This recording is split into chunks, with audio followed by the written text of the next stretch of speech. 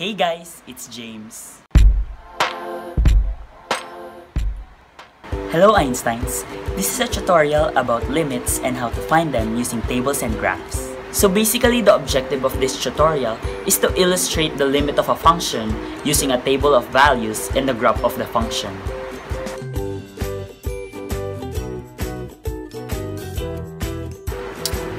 So what is limit? Limit is a boundary that may be reached or not, or possibly exceeded. So, to start off, I will show you the notation involved with this concept. Here, we have the letters L, I, M referring to limit. Now the idea with limits is we want to take a look at a function f of x and take a look at its various outputs as it approaches a specific value along the x-axis, which is c. And as we get closer and closer to this specific c value, we'll notice that the output of our function will get closer and closer to a number L, which would also be our limit. So we read this notation as the limit of f of x as x approaches c is equal to L. Creating a table is a way to determine limits using numeric information. We create a table of values in which the input values of x approach c from both sides. Then, we determine if the output values get closer and closer to some real value, the limit L. How to, given a function f, use a table to find the limit as x approaches c and the value of f of c if it exists. Number 1.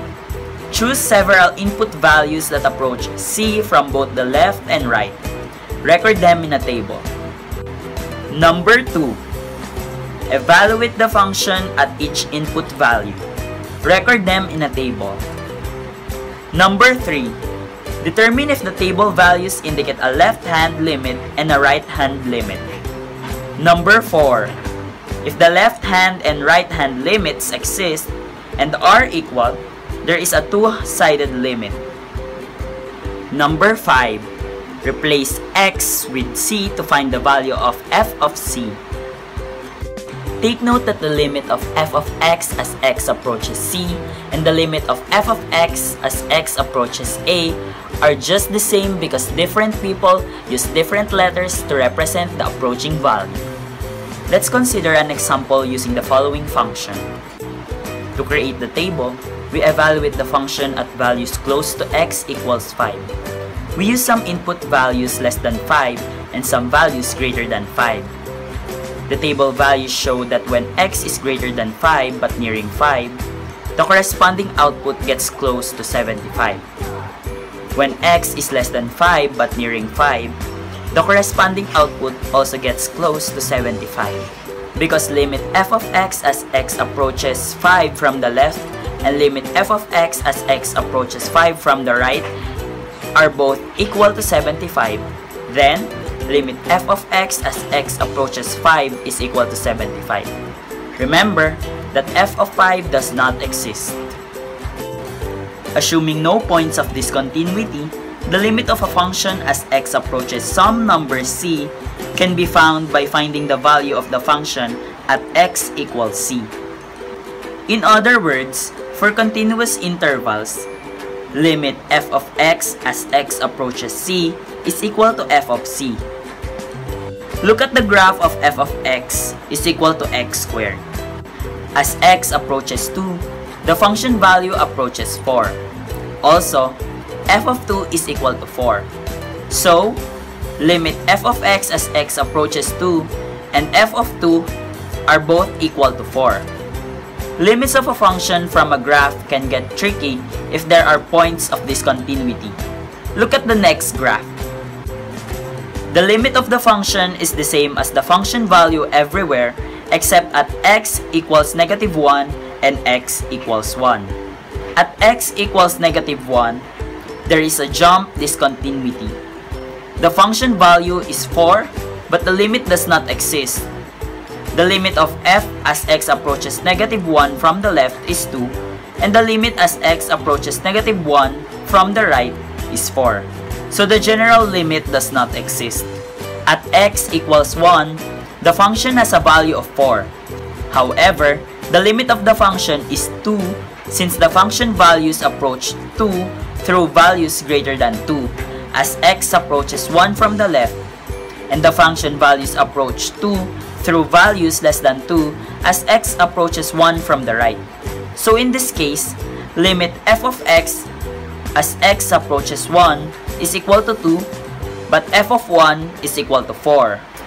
So now let's take a quiz. And if you want to answer honestly, it is necessary to pause. So for item number 1, limit 3x all over x minus 2 as x approaches negative 1. Use a table of values to find the limit of the function. Here is the correct answer for item number 1. For item number 2, limit x plus 3 as x approaches 1. Use table of values to know the limit of the function. Here is the correct answer for item number 2. So for these items, you will find the limit using a graph. Take note, I will only repeat the question twice. There will be 4 items but this will be only equivalent to 3 points.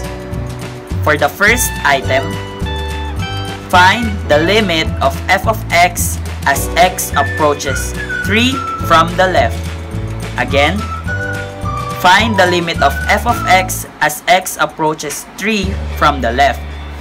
Next, find the limit of f of x as x approaches 3 from the right.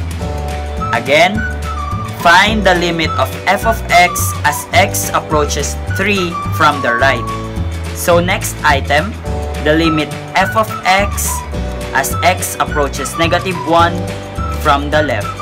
Again, limit f of x as x approaches negative 1 from the left. So for the last item, the limit f of x as x approaches negative 1 from the right. Again, find the limit of f of x as x approaches negative 1 from the right.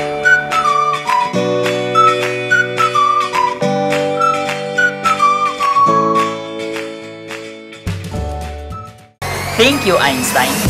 That's all for today and I hope to see you on my next tutorial.